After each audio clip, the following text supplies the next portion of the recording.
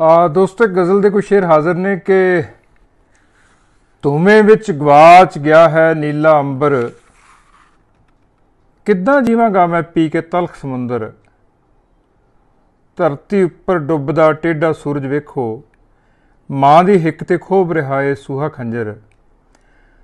ਤਪਦੀ ਧਰਤੀ ਛਾਲੇ ਛਾਲੇ ਮਨ ਦਾ ਵਿਹੜਾ। ਦੱਸੋ, ਇੱਥੇ ਕਿਸ ਤਰ੍ਹਾਂ ਆ ਕੇ ਛਣਕੇ ਝਾਂਜਰ? ਸੁਰਖ ਲਹੂ ਨੂੰ ਪੀ ਕੇ ਪੱਤੇ ਸੂਹੇ ਹੋਏ। ਬਲਦਾ ਕੇਸੂ ਪਹਿਨ ਖੜਾ ਹੈ ਅੱਗ ਦੇ ਵਸਤਰ। ਉੱਲੂ ਨੇ ਇਲਜ਼ਾਮ ਜਮਾਨਾ ਐਵੇਂ ਦੇਵੇ ਬਦਨੀਤਾ ਨੇ ਵਸਤਾ ਸ਼ਹਿਰ ਬਣਾਇਆ ਖੰਡਰ। ਗਾਨੀ ਵਾਲੇ ਤੋਤੇ ਉਹ ਦੁਹਰਾਈ ਜਾਵਣ, ਜੋ ਕੁਝ ਬੋਲਣ, ਰਾਜ ਭਵਨ ਦੇ ਸੀਲ ਕਬੂਤਰ। ਜਿਨ੍ਹਾਂ ਨੂੰ ਮੈਂ ਚੋਗ ਚੁਗਾਏ ਤਲੀਆਂ ਉੱਤੇ, ਉਹਨਾਂ ਤੋਂ ਹੀ ਠੂੰਗੇ ਖਾਦੇ ਨੇ ਮੈਂ ਅਕਸਰ।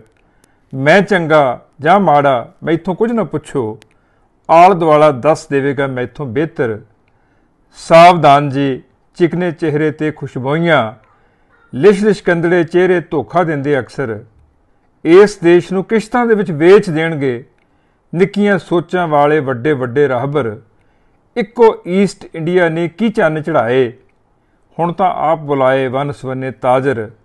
ਧੂਮੇ ਵਿੱਚ ਗਵਾਚ ਗਿਆ ਹੈ ਨੀਲਾ ਅੰਬਰ। ਕਿੱਦਾਂ ਜੀਵਾਂਗਾ ਮੈਂ ਪੀ ਕੇ ਤਲਖ ਸਮੁੰਦਰ? ਧੰਨਵਾਦ ਤੁਹਾਡਾ ਗੁਰਪਜਨ ਗਿੱਲ।